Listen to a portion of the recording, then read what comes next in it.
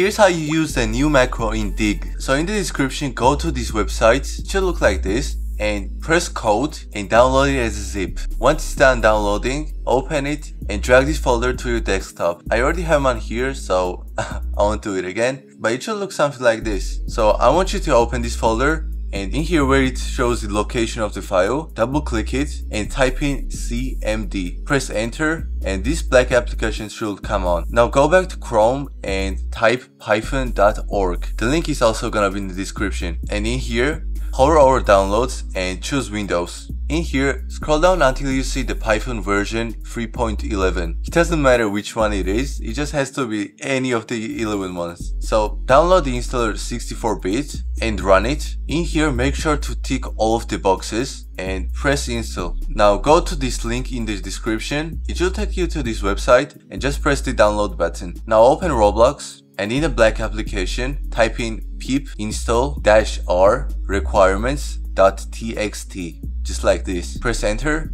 and it will just like spam a bunch of codes. So don't worry you're not getting hacked. It's just downloading a few stuff that it needs to run. So once that's done type in exit and open the cmd again. And now this time type in py main.py. There we go. And this window should pop up. You can just minimize it. You don't have to have it on your screen. So now open TinyTask and go into preferences and make sure to tick on the continuous playback. Go into playback hotkey and choose F8 so you can stop it later. And in game settings, change the minigame dimming to 1 instead of 0. Once that's done, just press record and just do the same thing I do. Just press the mouse until it starts digging and, and just let just let it go. Just don't don't move the mouse, don't touch anything. Just let it be. Okay? So basically just wait a few seconds so it's it just like make sure that if there's like any like you know stutters or anything it just accounts up for it. Just like wait a few seconds. This is a bit sped up so like honestly just just leave it for like 10 to 20 seconds and it should be good. So now move to right and press the mouse again. Now now come back down, press the mouse again, wait again, and now go to the left, press the mouse again.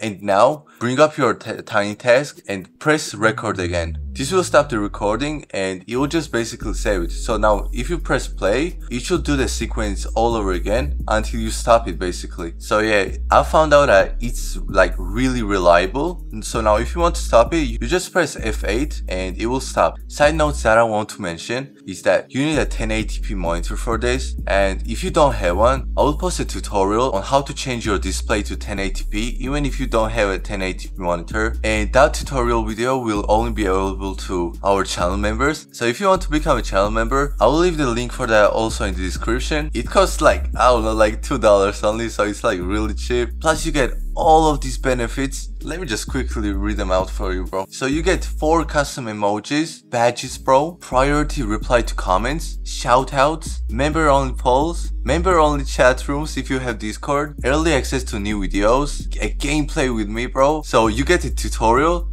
plus all of these benefits bro so so yeah man but if you have any other issues you can join our discord server the link should be in the description and i will personally help you with whatever you need okay bye now